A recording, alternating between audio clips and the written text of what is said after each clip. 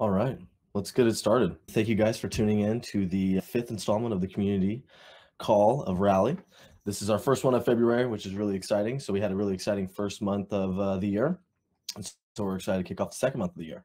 Today's agenda, just to keep in mind before we get started, please keep your mics on mute. If you have a question, please put it in the chat and uh, we'll address it at the end. So we'll start with the agenda. Today's uh, looks like new creator is going to be heading over to Rob.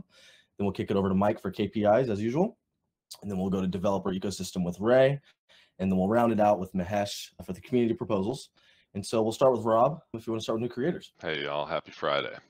All right. So, first up, we're going to talk a little bit about Vibe. So Vibecoin launched on the 22nd of January and to, to some pretty strong success. He's got over 90 supporters, about 100,000 in rally backing, and just about $32,000 in support volume. But rather than me talking about how, how great this has been, we've got got him on the line right now. Vibe, how you doing, man? Can, can you tell us about your, your coin launch and what community reception's been like? Yo, what's up, guys? Uh, just making sure. Can you hear me right now? Perfect. Okay, cool. Yeah, yeah, it's been great. When I first got into it, when you when you contacted me the first time, I was like, yeah, it sounds really interesting. I wasn't really sure what to expect and all that stuff, but it's definitely been a really cool way to take my content with just like viewer interaction to be like, hey guys, if you want to support this this way, this that way, it's been another really cool way to just incorporate people to you know participate with everything. And uh, as yeah, you were talking about with like the just the total amount of transactions and everything that's happened it's been really easy to push it with uh, something i've been running over the past couple week with like these tournaments. It's like it's been it's like a video game. It's basically a bunch of free-for-alls. So it's you know you just give people a way to like become a part of the content more because it's like oh well now we can do this vibocoin mixed in feature with now something that's going to be posted like another incentive is like it gets posted on youtube and stuff like that so people get to be part of the content and vibocoin is like a great way to incorporate people to do that and it gives them yeah. like trading stuff so could you tell us a little bit about the the ffa tournament and like how that went down what did you do for like yeah. qualifiers uh, so to be specific but not go because i know i kind of ramble on sometimes so i'm going to try not to do that but basically what i did was i had like five days of, of free for all tournaments, and I had one like extravaganza day where it's like the grand finals. It's a major day, and then I had like a, a few days that built up towards that. So the days that built up towards it, I had basically people could do a smaller Vibucoin donation to secure their spot in the free for all for an overall prize of extra Vibucoin, and the, the specific numbers were six to six donate six Vibucoins to donate to get into it, and then if you won, you got twenty four back. So a lot of people were they thought that idea was pretty cool. And then also, like I was saying before, they get a chance to also be casted by me in a very non-traditional version of the game. So it's like, oh, I'm gonna be casted. It gets, it gets be on YouTube, and I might even win Vibu Coin as a prize. It sounds like super exciting for people to do it. And the spots filled pretty fast, actually. Like as soon as I was like, all right, guys, it's starting in 30 minutes. Person, person, person, donate, donate, donate, donate. And it was like eight people just get in right away. So that's what I did for the daily ones. And then the other incentive I put in there was if you win, if you're actually the winner, you get seeded automatically into the the final day. So more of a reward, I guess, for like the guy who wins. And then finally on the final day, it didn't have a, a limit. So the daily ones were limited by eight people, but the final day had no limit at all. So as many people that wanted to play could play. And the way it kind of went down was over the week i was kind of like promoting it advertising it promoting it but uh, the way a lot of people work especially in, i guess i don't know maybe it's my stream specifically or just people in twitch they're not like the most like assertive to be like i know i'm doing this in a week from now so i'm gonna immediately sign up right now. It was like i had about four signups throughout the week and then on the day it was like 16 people all signed up in a, in a matter of about 25 minutes before the event started so we had a total of 20 people all into it and then another incentive that people started talking about, which I thought is a great idea, because it it's super casual the way we run it. But another incentive that or that was pretty cool was people said if they if they wanted to, could they donate Vibucoin to me to just increase the prize pool to make it like higher stakes matches. And I was like, yeah, it sounds great. I mean, if we want to make the winners of this event get more Vibucoin, that's totally fine. And the the overall event started with a, the concept was was it was a 10 Vibu coin donation to get into it. So 20 people did that. And then I was going to give uh 105 150 Vibu coin prize plus five additional Vibu coins per each person that entered after 10. So if we had 12 or yeah, 12 people or so, it'd be like 160 stuff like that. And the prize ended up being increased all the way up to it was 300. So it was 150 for first, 90 for second place, and 60 for third place was like the way I divvied it out. So I gave pricing to more than just the top guy. And yeah, people loved it. It was great. It was fun. Uh, it was smooth. I mean, the, the Vibucoin has nothing to do specifically with like running StarCraft 2 tournaments, I guess, with like how smooth that was. So I don't really have to go into that. But yeah, everyone like, I feel like at first, my final opinion of this or how it went was at first when I first talked about it, people were kind of confused a little bit. But as soon as like a few days went by and we kind of internally, like me and Rob specifically talked about it, and he helped me a lot to like figure out how I should kind of word things and like even make like commands in the channel to be like, okay, you guys want to check it out? Go here, go here, go here. Made it super easy to like have the new guy who joined five minutes after I just explained it to now know what's going on as well. And everyone started learning what's going on really easy after that, and it went really smooth after we did that. Dude, again, congratulations on the success of the the first Vibucoin tournament. Uh, Yeah, so was good. what, what what are your future plans with with Vibucoin? What do you what do you got in store, Dan? So I like I said, people have been really positively receiving the idea of it, and a lot of people have already gotten. They've already donated a lot of it, already bought some of it. I keep hearing the alerts go off daily, but the plans I have for the future of it is basically I want to do some coaching stuff with it. So I, I uh, here's what I do on my stream. I, I run a few additional things that happen during the stream, and they're just like additional content into the content that I normally make. So normally day to day, I'm just streaming a game called StarCraft 2, which is fine. But I also add in sections of scheduled coaching and also sections of spontaneous replay analysis, which is like it's like a casual form of coaching. It's just a lot of coaching essentially. And I have Vibucoin is now going to be an addition for me to be another format or like a, another just avenue that someone can purchase coaching lesson essentially. So if they buy Vibucoin, donate it to me. That is their that's like a ticket to uh, an, anal- an analysis or coaching. And I would say on average, I do about like five to six coaching lessons a week and maybe more like seven replay analysis a week. So there's quite a bit of them. And then also I I was super swamped. I had a lot of stuff to do with the tournament. It was it was great. It ran well, but it was super busy. So I was thinking tournaments. I would still do those, but maybe do those more like once a month instead of every week because that would be a lot to do. Uh, so probably like once a month, you know, month and a half or something. Every few weeks, I'll throw a tournament out there, and I'll run the. I actually really like the format I ran with the last one, so I'll keep that kind of style going. I think it ran really well. Yeah, and doing the like the, the shorter games in the end for the like final FFA qualifiers is really cool to have. No, the, yeah. have the pacing kept It- up. Exactly, it made it go a lot smoother because that that could have taken like seven hours if I would have been like everyone's going to the end. Dude, well, thank you very much for for joining us on the Rally Community Call. I appreciate you, man. Yeah, man, no worries. Thank you, Vibe. I appreciate that. Thank you, Rob. Awesome. All right, and then up next, we also had Livy B launch last week. So StarCraft 2 has really been going gangbusters on the Rally platform. Livy B is an Australian gamer and cosplayer. She's super passionate about crypto, and you can see that in the way that her community has responded. Her chat in general would talk about like Bitcoin and Ethereum, and so launching Bcoin has gone extremely well for her. She's got uh, 165 transactions and just about 184,000 rally coins backing already. That that brings her to just about 60k in total support volume, which is insane. Bcoin has been leading the the rewards chart this week, and Livy B is planning to also add some additional like paper VOD and paper post cosplay functionality as well. So be sure to keep an eye out on that one. That's it for new creators. Awesome. Thank you, Rob. We'll go ahead and kick it over to Mike for the KPIs. All right. So on the mainnet side, we are currently at around 89.3 million rally in the circulating supply. One thing we noticed is that if you go to CoinGecko, the number that shows on CoinGecko um, is incorrect. And if you hover over where the circulating supply is calculated, that number, if you actually do the math, it's correct. But for whatever reason, the number that they show right there, it doesn't actually add up. So 83.9 89.3 million is uh, what you get when you do the math when you hover over on the CoinGecko uh, info button. 19.9 million in total liquidity across our Uniswap and Balancer pools. I attribute this mostly to increases in price in both the Rally coin and Ethereum price.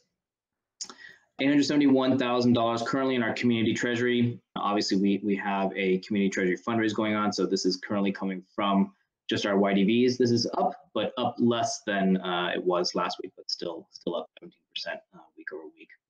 And 61,000 uh, in bridges in, quite a lot. Last week was a little bit of a slower week because we didn't have any larger creators launch, so up significantly this week. As we move over to the side chain, you know, a lot of the numbers are all up. I attribute this mostly again to what Rob was just saying with the launch of Livy B and her her her fan base that's actually pretty crypto literate.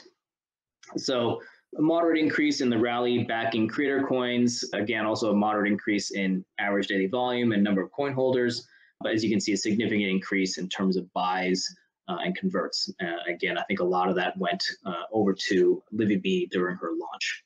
I think that's also uh, a good driver of the donations and bridges out and redeems are down, which is, you know, that doesn't mean it's bad. I think that's actually not necessarily, uh, I, I mean, I think it's a neutral thing, but good to see that bridges out in general are lower than bridges in this week. Awesome. We'll go and pass it over to uh, Ray for the key for developer ecosystem, rather. Thank you. Yeah, so updates all over the place. I was hoping to get a demo of our, our one of our community tools, the, the dashboard for the Rally bot up, but couldn't quite get the presentation ready. So I'll do that next week. But we've got it ready. You can register your server, your Discord servers. It's also got some new tools in it for deep linking.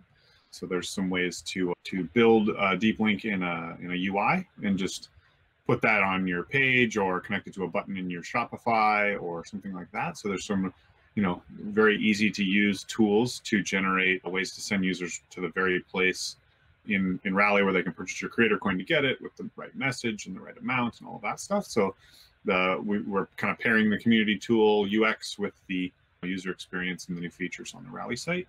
So I'll, I'll give a demo of that next week along with the rest of the setup there. So you can kind of run some of the commands and do some things in in there for your Discord server for the, the creators who don't really want to be in the running commands world uh, for Discord. Other updates, we have some more bounties up and being worked on. I think we got two or three that are active, two or three that are about to be uh, approved, sort of in QA. And there, some of them are related to Discord and OBS still. I think we mentioned last week, but some are starting to branch out into other tools, and they're kind of giving us more ideas on other bounties to make that are not inside of Discord, Twitch, specifically. So that's kind of an encouraging sign that the the people working on the ideas for current creators are spawning more ideas for you know, wider groups of creators, and they're not having to come directly from the, uh, kind of the committee that makes bounties, which is a good sign for both community management and and growth in the in the space. And we just have more people trying to work on problems for creators. It's kind of cool. I guess another thing to mention is we're sort of behind on on bounties. It's another sort of another good sign. we've we've built a new bottleneck where Phelps and I are chasing testing with the developers and QA cycles to make sure that the features work as as desired. And so we're going to be trying to grow out our community management on the dev side. We've talked about this before, but we have a candidate who's been helping us build some things and, and be a, a code reviewer and we're going to put up a proposal to see if the community would like to add him as a semi-permanent fixture to to kind of represent the rally community in a dev capacity. It'll be our first sort of ambassador community member that is an engineer by trade, which is uh, something neat and something we've seen in other projects. You know, Yearn grants uh, have developers on on the staff, so we're excited about that. And then OAuth. So features coming up. Rally, the site is going to be providing authentication for users. I think we've talked about this on and off a, few times, but that's on target for next week. And we're going to try to uh, make sure that the, you know, we have full documentation on how to register for that, sort of like you do for the webhooks. And now external developers can map the accounts of Rally users to, you know, whatever their local experience is and, and verify that identity. And that's a kind of a quality of life improvement for the developers that are kind of just map making that mapping now in a, in a more manual way but it's also a platform for us to build a bunch of new stuff on so that's how we're going to get rights that's how we're going to get account balances all those sorts of things out into the hands of developers outside of Rally. So it's exciting. And then the last note is sort of a, I guess, a boring task for documentation. But now that we have a big cluster of community tools brewing, we want to make sure that it actually gets in the hands of creators. There's not too many creators using the community tools right now. And there also has been some confusion, rightfully so, on like why is there two Discord bots that do similar things? we have some overlays that kind of do similar things, and some are built by the community and some are built by Rally. And so what, what we're trying to do internally at Rally is establish what we are and aren't tackling on our roadmap for the product side, like the stuff that creators and fans use, so that we can we can lay that out and have kind of a clear set of boundaries, and then also start to build playbooks for community tools, and and so those things get mapped to any creators that are new to join or maybe trying to reinvigorate a feature set or, or a new use case that have been on Rally for a while but didn't have the tools. So sort of making sure that the the account management teams and the community members are up to date on all that stuff and feel like they know why you'd use a community tool versus the Rally product set or, or, or just be aware there is a new tool and how it works. So we're working on that on the dev community side, of sort of humanizing the tech that's being built. Awesome. So, Thank you, Ray. Appreciate that.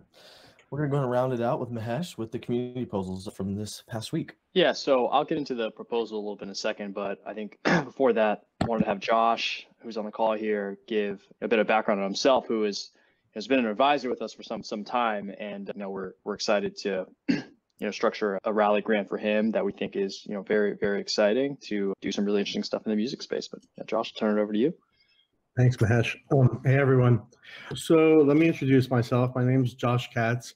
I've been in the music industry for quite a number of years. I started off back in the mid 90s as concert promoter upstate New York, grew out to be actually a pretty large one. And then I spent a decade in the recorded music business, dropped like responsible or involved with tons of hip hop albums, a lot of rock albums, I actually was involved in launching Britney Spears and NSYNC and Backstreet Boys, if any of you know who those people even are from back in the day. A lot of that candy pop. And kind of at that point in 2003, I moved out of the traditional music business and I found I was the founder of a company called EL Media Group.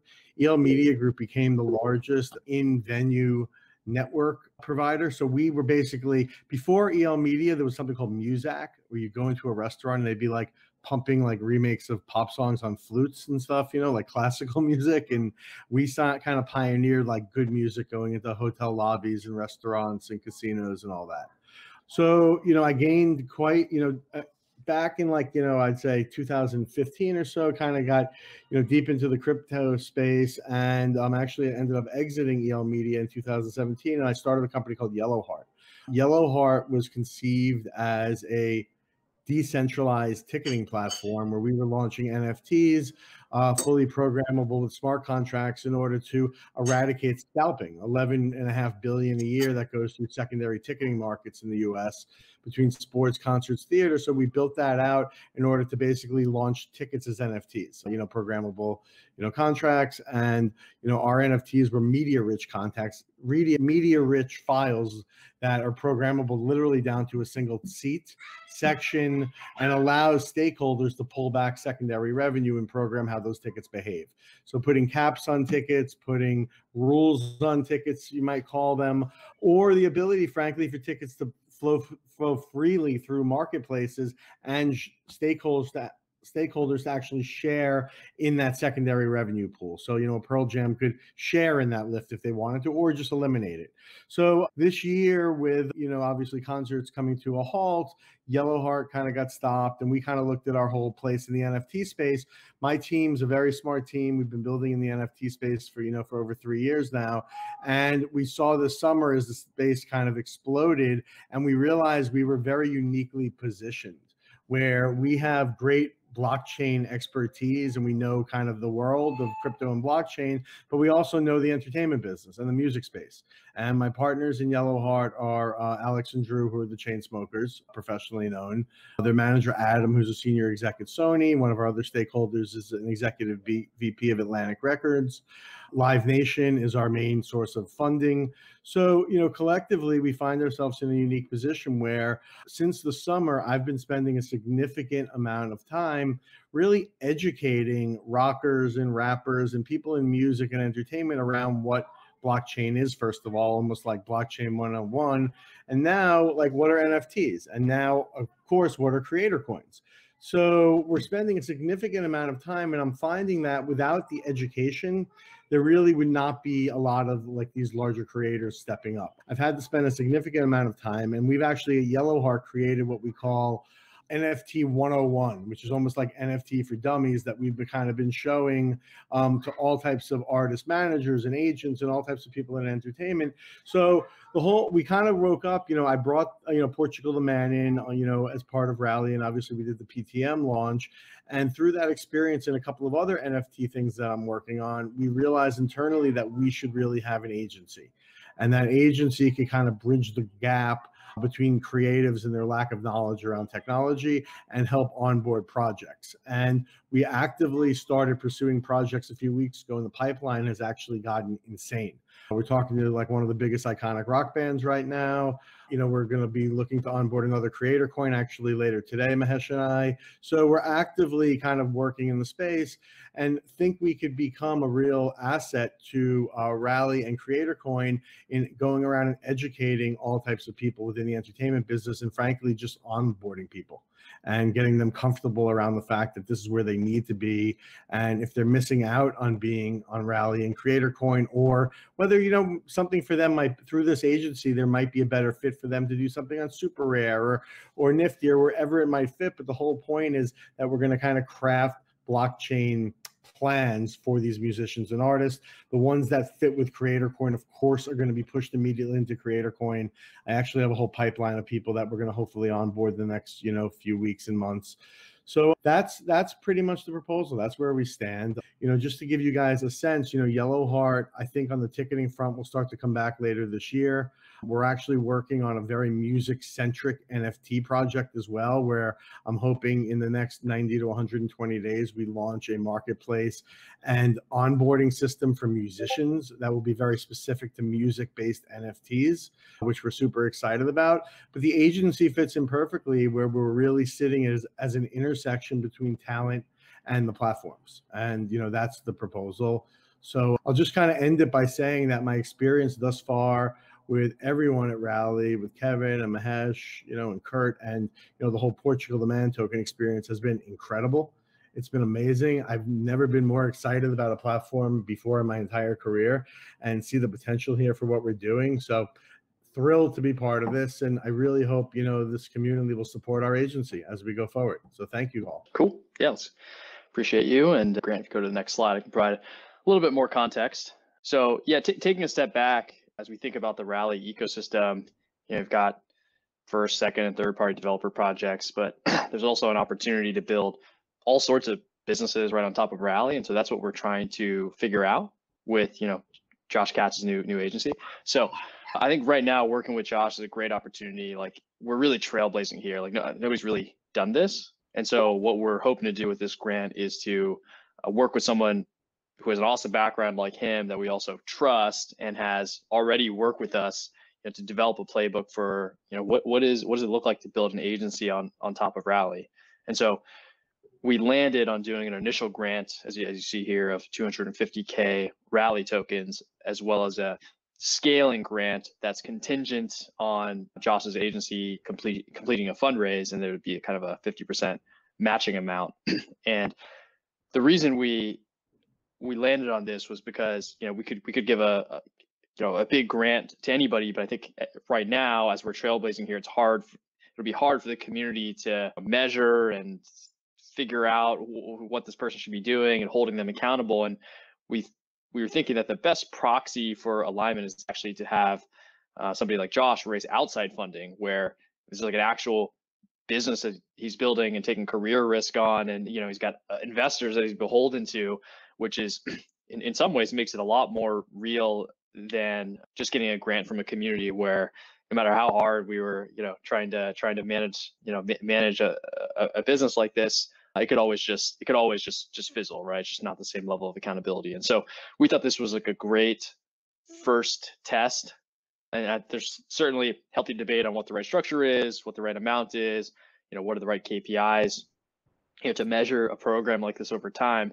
But I think this is a good start, and I can envision a future where you know full business plans are being submitted and and, and vetted entirely by the community. And so you know a little bit looser on this one as we figure out what the learnings are and what's working what's not working but over time we really want to like tighten these types of things up more and more and so you know i'm personally working really really closely with josh to to learn as much as we can, fine tune this as much as we can, and you know hopefully have a lot more successful launches like Portugal the Man. Could I add to that for a sec, guys? Sure. Um, you know, I just think that you know I'm part of this community now, and clearly it's early, and we're all just kind of getting ready to we're launching off now. So I really want to also go into this with the approach that you know I'm happy to be the rally guinea pig around how these programs work going forward. And we we have an amazing you know access to talent.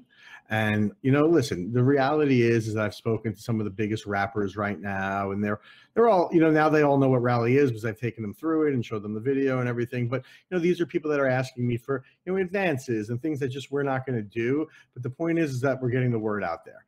And i think that you know that's going to be pretty important and i think there's going to be a lot more of these programs that you got that you know we're all going to want to do and i think that you know this early one i'm happy to kind of make it very flexible where as we're going and we're you know through this community and we're doing these calls week to week and you know giving updates you know letting it letting it kind of become the template for more to come and more you know more of this so. Yep sounds good. Well thanks josh. We appreciate your your time and looking forward to getting going here. All right. Thank you all yeah, thank you, Josh. Well, that concludes our agenda. We still have, uh, I think we still have Vibe on, Dan, and we also have Josh on. So if there's any questions for any of those two of our guest speakers, any of the speakers today from Rally, we can go and open the uh, chat up for any questions that you guys may have. Okay. Well, if there's no questions, thank you guys for speaking today. Thank you, Josh. We're really excited to be working with you. Um, we're really excited to see what's coming. And then also, Vibe, I don't know if you're still in here, but Dan, thank you speaking with us. Uh, that was really, really nice insight on how well your coin's doing, and we're excited to see it keep growing. Nice. Thank you, guys. Thank you, Dan. Awesome. Well, that concludes our first February community call. We will be back here at the same place, same time next week. So we'll see you guys then. So have a good weekend, guys. Thank you. Bye, everybody. See y'all.